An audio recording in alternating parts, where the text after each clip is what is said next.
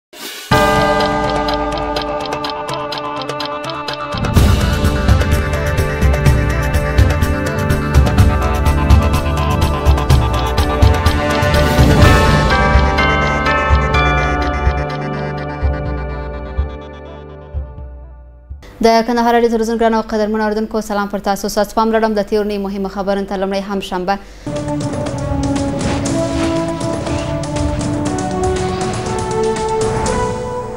د کندهار رضاکار فدراسیون مسولینو د مرستیال والي سره وکتل د شنبه پر ورځ د کندهار رضاکار فدراسیون مسولینو او ترڅنګ یې ښځینه رضاکار غړو د مرستیال والي عبدالحنان منیب سره وکتل د رضاکار فدراسیون ښځینه کمیټې مسولې نبیلا صدي ویل د ښځینه کمیټې د جوړولو څخه یې موخه د ښځو ستونزې راټولول او د اړوند ادارو سره شریکول دي. د هغې په خبره غواړي چې خپل فعالیتونه د ښار ترڅنګ ولسوالۍ ته هم وغځوي او په دې برخه کې د ولایتي ادارې څخه د همکاري غوښتنه وکړه. وروسته د کندهار مرستیال والي عبدالحنان منیب د یاد فدراسیون مسؤلینو ته د ولایتي ادارې په استازیتوب د هر ډول همکارۍ ډاډ ورکړ. ښاغلي منیب همداراز زیاته کړه، ولایتي اداره هڅه کوي ترڅو د ښځو په برخه کې پرتې ستونزې حل کړي او هغوی ته د کار زمینه برابره کړي.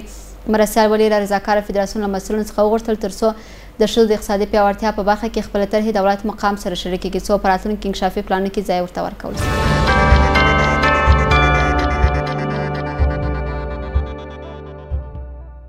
د هم یکشنبه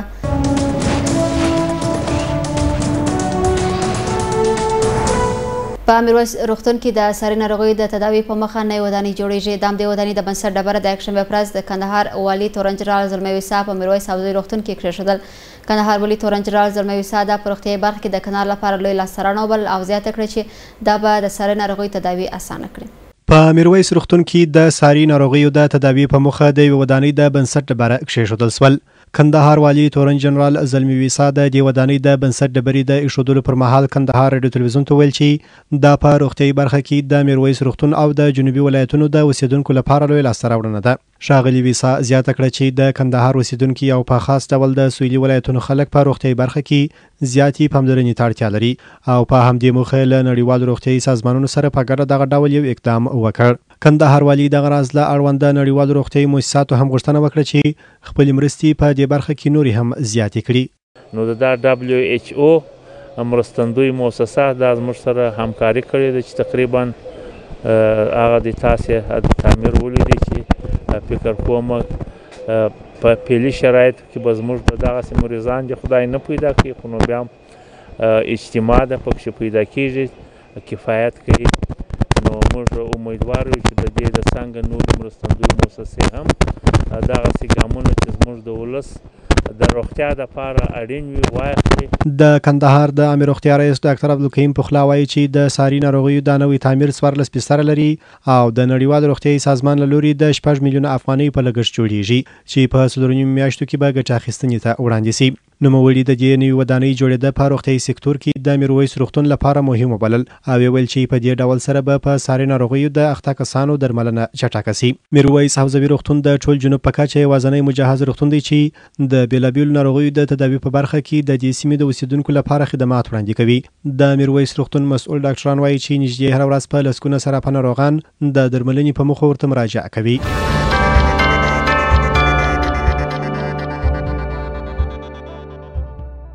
کندهار ولایتي شورا وایي په نامنا سیمو کې دې د تذکرو پر فوټه کاپي د رایې ورکولو سټیکران نصب سي ولایتي شورا د یکشنبې په ورځ د خپل نوبتي غونې پر مهال د افغانستان ټاکنو خپلواک کمسیون څخه وغوښتل چې په نامنا سیمو کې د تذکرو پر فوټو کاپي د رایې ورکولو سټیکران نصب سي تر څو د یادو سیمو کې اوسیدونکي د ناامنۍ له امله د دې پروسې څخه بې برخې نه سي. دولتي شورا په غونډه کې دغه راز د پولیسو معاشاتو پر ځنډ او د روژې مبارکه میاشت کې د خوراکي توکو پر لوړ نرخونو هم بحث وسو او په اړه لازم تصامیم ونیول سول. د ولایتي شورا د یکشنبې ورځ نوبتي غونډه چې د شورا د ریس حاجي سیجان خاکزوال په مشري جوړه سوې وه پکښې د شورا نورو غړو هم برخه اخستې وه. په غونډه کې لومړی د تذکرو پر پټ کاپي د سټیکرانو پر نصب بحث وسو ولایتي شورا وايي، په ناامنه سیمو کې دې د تذکرو پر پټ کاپي د سټیکرانو نصب ته اجازه ورکول شي، تر څو د یادو سیمو اوسېدونکي هم له امنیتي ګواښونو ژغورل شوي وي او هم د دې ملي پروسې څخه بې برخې نه شي. د ولایتي شورا وکیل نعمت الله خان شردلی وايي، حکومت باید د امنه او ناامنه سیمو ترمنځ تفکیک وکړي او حالات ته په کتو پرېکړې وکړي. حق خو دا دی چې پر اصلي تذکره باید چې ولګېږي مګر اما دا خو د مجبوریته څه چې زما ولسوالۍ دې څوک ورتلای نه شي چې پر اصلي تذکره یې لګېدلی خو بس کار دې خلاص کړي وایي درېدل دی دی ولاړی دی بیا نه رایه سته نه بله سته نو دا مناطق هر ځای فرق لري هغه ځای به صحیح چې په هغه ځای کې چې حالات سمې امنې چې پر اصلي تذکره ولګېږي هغه صحیح دي ځای ته ولایات ته دې وکتل چې هغه ولایت چې په امن کې دي د هغه مخ ته څوک نشي درېدلی هغه دې پر اصلي تذکره وروال شي او مګر چې په امن کې نه دي هغه دې بیا پر دغه وروال شي خو خپل کار دی کار یې ځینې واخلي د ولایتي شورا په غونډه کې دغه راز په کندهار کې د ملي پولیس د معاشاتو پر ځنډ هم خبرې وسوې. د ولایتي شورا غړي وایي کندهار کې ملي پولیس په ډیرو سختو حالات کې دندې ترسره کوي خو د مرکزي ادارې له لوري په میاشتو میاشتو معاشات ځنډول کیږي چې دا د ملي پولیس له سرتیرو سره ستر ظلم دی ولایتي شورا له کورنۍ چارو وزارت وغوښتل چې کندهار کې د ملي پولیسو دغه ستونزه ژر تر ژره حل کړي او پولیسو ته پر وخت معاشات ورکړي. یار بایومتریک کی بیا چیش کی بیا چیش کی بیا کمپیوټر کی بس را روان دی د وزارت داخلی څه موږ ته خارجان داسې نه وای بس پلمی دی کی په دغه بایومتریک کیم دی خپل کار سایمن صاحب پیدا کی د کابل څه چې راځي دلته وایي د کندهار پولیس د کندهار عسکر شپه او ورځ په ستړیا او په تکالیفو په عملیات کې ولاړ نو د دې غم نه خوري وادرېدل د دغه د دغه پولیسو د ازاره څه چې زما په خدای قسم یې وادرېدل که دی که دی سمه ورځ وویني چې زه خپله ورته ګورم ولې دا دا خو ازار لري هیڅ هیڅ نور څه ژر تر ژره د دې دغه راشي که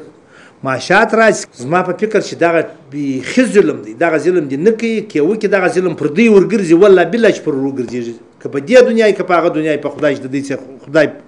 و دغه حق و دې مسلمانانو ته ورواخلي د روژې د مبارکې میاشتې له راتلو سره د خوراکي توکو د بیې لوړوالی د ولایتي شورا د غونډې بله موضوع وه د ولایتي شورا رئیس او غړي وايي، هر کال د روژې د مبارکې میاشت د راتلو سره سم د خوراکي توکو بیې لوړېږي، چې دا کړنه د غریبو هېوادوالو سره ستر ظلم دی. د ولایتي شورا غړی نعمت الله خان شېردلی وايي، دوی به د کندهار ښاروالۍ سره په ګډه یوه کمېټه جوړه کړي، تر څو په ښار کې لوړ نرخونه کنټرول کړي. زموږ د کندهار ولایتي شورا استازي په مخ کې دغسې یو فیصله ده، چې موږ به د ښاروالۍ سره په ګډه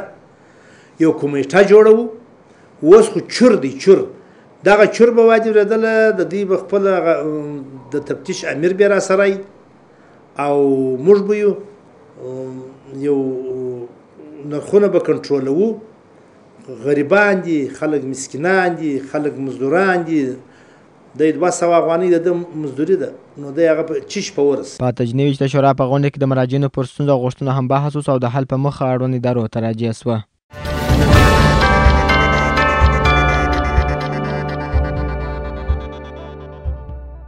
د همد شنبه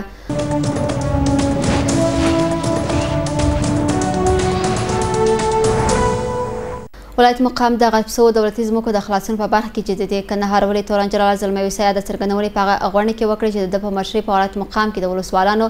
او امنیتي مسؤلینو په ګډون جوړه سوې وه. غونډه کې پر دې سربېره د ښې حکومتدارۍ پر رامنځته کولو هم بحث وسو او خبرې وسوې. د ښې حکومتدارۍ تر عنوان لاندې دغه غونډه چې ولایت مقام کښې د کندهار والي تورن جنرال زلموي صاحب په مشري جوړه سوې وه د مرستیال والي عبدالحنان منیب ترڅنګ د ملي امنیت رییس تورن جنرال محمد یاسین، د عدلي او قضایي ادارو استازو، ولسوالانو، امنیتي مسؤلینو او سکتوري رئیسانو هم پکښې ګډون کړی وو. پیل کښې کندهار والي تورن جنرال زلمي ویسا خبرې وکړې او د ټولو ولسوالانو یې وغوښتل تر څو د غصب شوو دولتي مځکو د خلاصون لپاره پوره هڅه وکړي او د هغو غاصبینو په اړه ولایت مقام ته معلومات ورکړې چې په غصب کښې لاس لري. ښاغلي ویسا ولسوالیو کښې د اداري واحدونو پر فعالیت هم ټینګار وکړ او وې ویل چې دغه چاره کولای شي د دولت او ولس ترمنځ فاصله راکمه او د خلکو باور پر دولت زیات کړي. دغه راز غونډه کښې ولسوالانو هم په وار سره خبرې وکړې او د ټولو هغو فعالیتونو په اړه یې معلومات وړاندې کړل چې تیره یوه میاشت کښې یې ترسره کړي. دوی ویل چې دغه موده کښې یې زرګونه دولتي مځکه د غصب څخه خلاصه کړې او د پاته هغه لپاره یې هڅې روانې دي.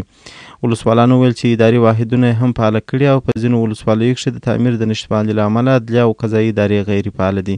دوی ویل چې ولسوالیو کښې د نوم لیکنې او تذکرو د ویش لړۍ په چټکۍ سره پر مخ ځي او په دې برخه کښې د مسلکي مامرینو او مرکزونو کمښت لویه ستونزه ده. خو غونډه کښې د ټاکنو کمیسیون استازي ډاډ وړاندې کړ چې دوی د منظم پلان او طرزالعمل له مخې مخته ځي او هیځ یو کس به هم د نوم لیکنې له پروسې څخه پاته نشي. هغه ویل چي دم ګړۍ کندهار کښي تر دوه سوه زره زیاتو کسانو نوم لیکنه کړې چي د هیواد په کچه لومړۍ درجه کښي راځي. دغه راز مرستیال والي عبدالحنان منیب هم غونډه کښي د سلام مخابراتي شبکې د فعالیت یادونه وکړل او د ټولو ولسوالانو یې وغوښتل تر څو هغه سیمي ولایت مقام ته په ګوته کړي چي هلته یاده شبکه فعالیت نه لري. څو وکولای شو ټول کندهار د سلا مخابراتي شبکې تر پوښښ لاندې راولو. وروسته د اقتصاد رییس ګل محمد آرین هم غونډه کښې د روان کال د پرمختیایي پروژو په اړه معلومات وړاندې کړل او وې ویل چې دا مهال کندهار کښې پر شپېتو پروژو کار روان دی چې ځینې د تکمیلیدلو په حال کښې دي. د غونډې وروستیو کښې د امنیه قومندانۍ اداري مدیر د تذکرو د ویش یادونه وکړل او زیاته یې کړل چې دغه پروسه په منظم ډول پر مخ ځي او تر دې دمه یې څه باندې یو سلو نولس زره کسانو ته چې درې زره یې ښځمنې دي تذکرې وېشلي او شهرت یې ثبت کړی دی.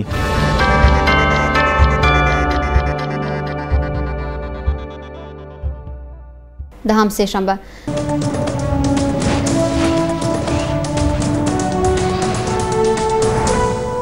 د کنهار ملي امنیت په کنهار ښار کې د خونړۍ چاودنو او بریدونو مخنیوي وکړ وسوال ترګرو چې په دوه کانټرینونو کې چاودونکي توکي ځای پر ځای کړي وه غوښتل چې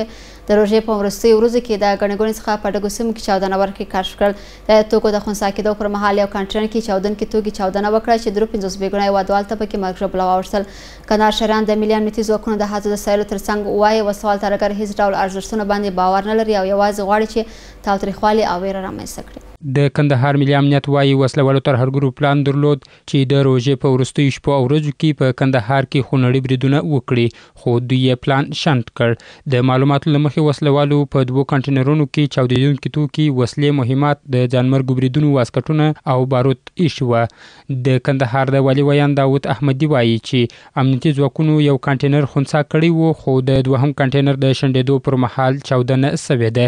د کندهار د والي ویاند داود احمدي ویلي چې په چاودنه کې شپاړس کسان شهیدان سوي او اووه دېرش نور ټپیان سوي دي. د ده په وینا په شهید سوو کې څلور یې نظامي او پاته نور یې ملکي وګړي دي. خو په ټپیانو کې شپږ نظامي او پاته نور یې ملکي وګړي دي. کولو لپاره لومړی کانتینر یې چې خلاص کړی دی او په هغه کې د راکټ مرمۍ و ځانمرګي واسکټونه او نور چاودیدونکي مواد او بیا چې دوم کانتینر یې خلاص کړی دی په هغه کې هم تر دې زیات شیان وو له بده مرغه چې دلته د دروازه چې خلاصه کړې دلته دا چاودنه رامنځته شوې ده. اته دېرش ټپیان تر اوسه پورې لرو او شپاړس تنه زخمي شهیدان لرو.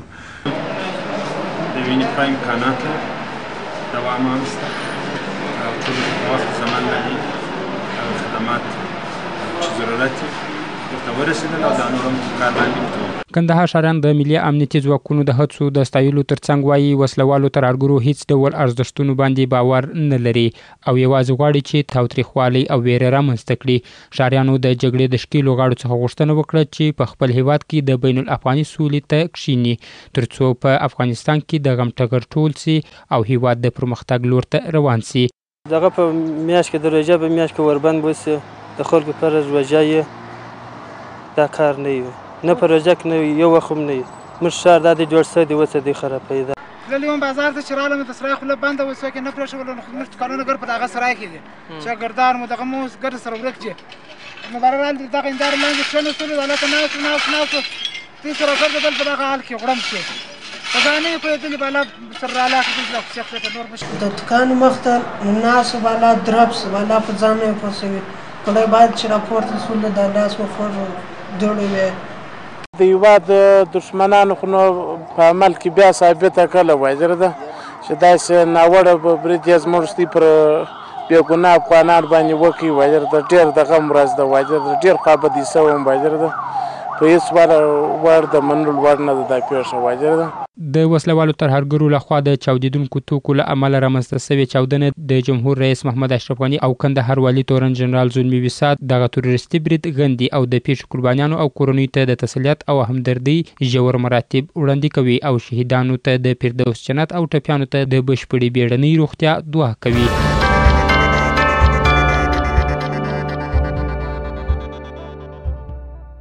د هم چهارشنبه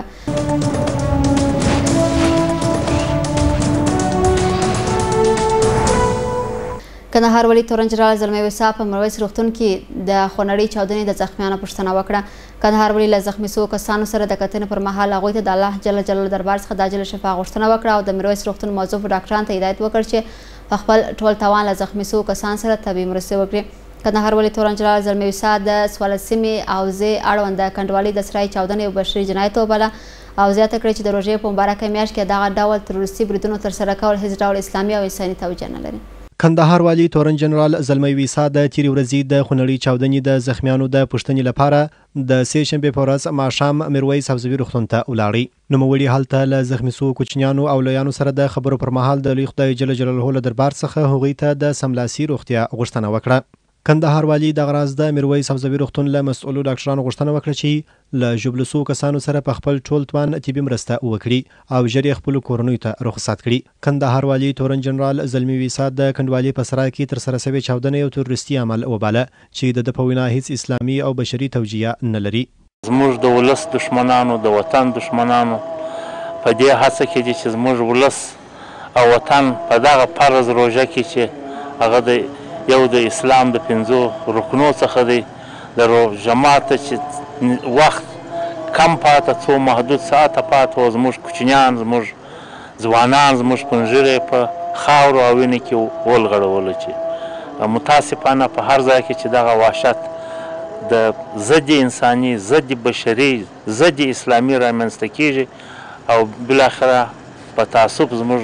وطنوال قرباني کیږي. کندهار والي دغه راز د میرویس حوزوي روغتون له ډاکټرانو او طبي پرسونل هم مننه وکړه چې په ډېر ښه ډول یې د پېښې له زخمیانو سره طبي مرستې کړې دي. نوموړي همدا راز له عامو خلکو هم مننه وکړه چې د خپلو هېوادوالو د ژوند ژغورلو په نیت یې د میرویس روغتون د وینې له بانک سره د وینې د اړتیا پوره کولو په برخه کې مرسته وکړه. د میرویس روغتون د ټیم څخه ډیر منندوی یو چې دوی وکولای شوای چې هغه زخمیان چې وو هغه په ښه صورت سره څه د دوی په امکاناتو چې وه حتی اضافه تر هغه د دوی سره هغه د روغتیایی مرسته کړی ده او موږ د خپل ولس څخه منندوی یو چې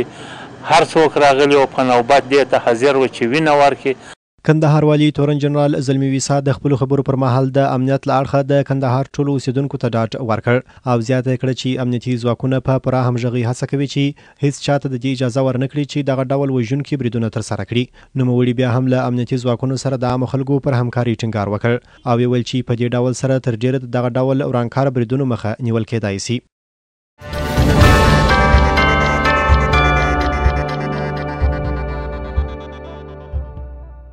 ته هم پنځشنبه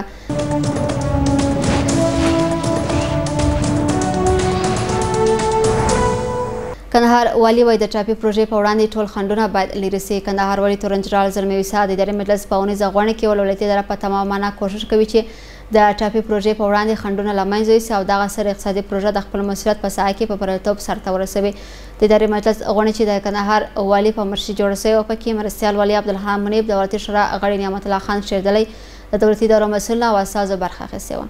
د اداري مجلس په پیل کې کندهار والي تورن رڼا زلمي ویسا د سې شنبې ورځې د خونړي برید په اړه سخته خواشیني وښودل. په پېښه کې ټولو قربانیانو ته د الله جل جلاله په دربار کې دعاګانې وشوې. شهیدان ته د جنت فردوس، ټپیان ته د عاجلې شفا، کورنۍ او دوستان ته یې د جمیل صبر غوښتنه وسول. وروسته په غونډه کې په کندهار کې د ټاپي پروژې ولایتي مسول خپل معلومات د غونډې له ګډونوال سره شریک کړه. هغه وویل، په کندهار کې د دې پروژې د بریالیتوب لپاره په بېلابېلو برخو کې لومړني کارونه او د مځکو د تثبیت لړۍ پیل سوې،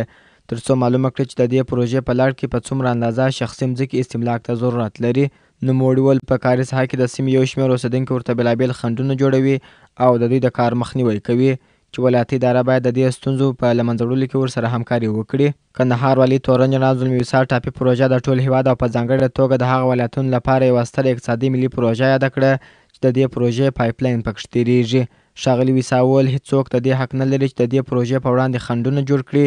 او دغه اقتصادي ملي پروژه د ځنډ او خنډ سره مخ کړي. کندهار والي زیاته کړه، په کندهار کې د ټولو هغه ولسوالیو مسؤلین چې د ټاپي پروژې پایپ لین پکښې تېرېږي مسؤلیت لري چې د دې پروژې د کارکونکو امنیت خوندي کړي او د هغوی په وړاندې خنډونه له منځه یوسي. هغه دغه راز د ټاپي پروژې ولایتي مسؤلینو ته هم سپارښتنه وکړه چې په کندهار کې د ځان لپاره مشخص دفتر فعال کړي او خپل کارونه د ولایتي ادارې سره په همغږۍ مخته یوسي. د ولایتي شورا غړي نعمت الله خان شردلي وویل، ولایتي شورا په ټول توان د دې پروژې ملاتړ کوي او هڅه به وکړي چې د دې پروژې په اړه د سیمې اوسېدونکو ته قانع کوونکي دلایل وړاندې کړي. ښاغلي شردلي ټینګار وکړ چې د دې پروژې په لړ کې باید د سیمې اوسېدونکي په کار وګمارل شي او د سیمې له موادو او ماشینرۍ څخه استفاده وشي. د اداري مجلس په غونډه کې دغه راز کندهار والي تورن جنرال زلمی صاحب په ښار ولسوالۍ کې په غیر قانوني ډول د معدنونو او ساختماني موادو پر استخراج اندېښنه وښودل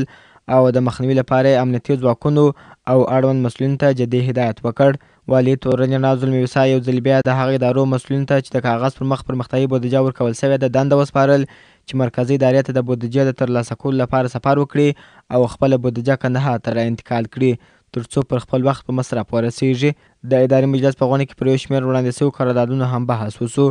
هغه چې قانوني مراحل یې بشپړ و، تایید او په کومو کې چې نیمګړتیاوې موجودې وې، د حل په موخه رد شوه.